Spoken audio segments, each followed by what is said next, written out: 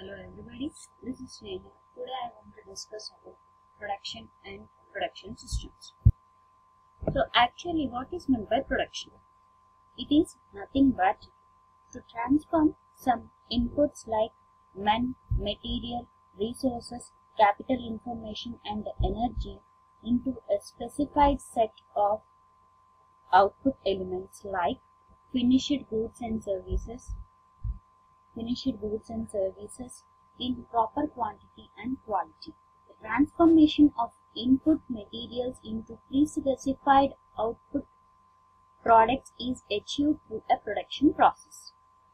Basic objective of any industrial unit or plant is to provide goods or services and to earn profit. Nowadays, production is in everyday life and can be noticed in factories, hospitals, and offices, etc. Production can be defined as producing goods or services which satisfy human needs or wants, and this is called as production. Next, this is some of the typical production systems. These are some of the examples department store, trucking firm, factory, automobile body shop, etc. So these are some of the inputs which those companies or else those trucking devices want. And these are transformed into outputs like desktops, delivering of goods, repaired automobiles, etc. Next, production is divided into two categories continuous production systems and intermittent production systems. In continuous production system, the machines are arranged basis on on the basis of products. And whereas in intermittent production systems, machines are arranged randomly in the factory. So this is one of the example of intermittent production system. For example, here one A, B, C, D and are some of the machines. Here product 1 is going to produce. This is the first stage of product 1.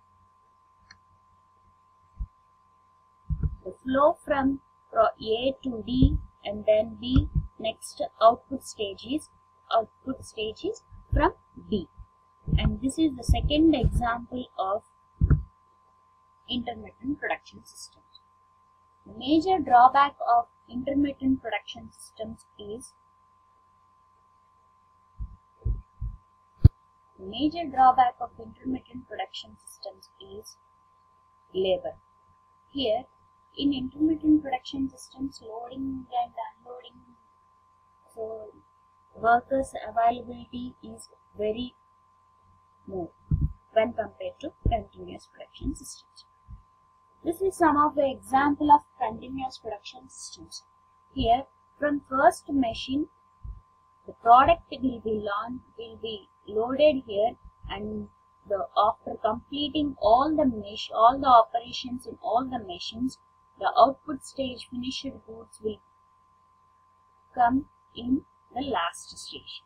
Here only one operator is enough to guide the machines. This is some of the example of continuous production systems.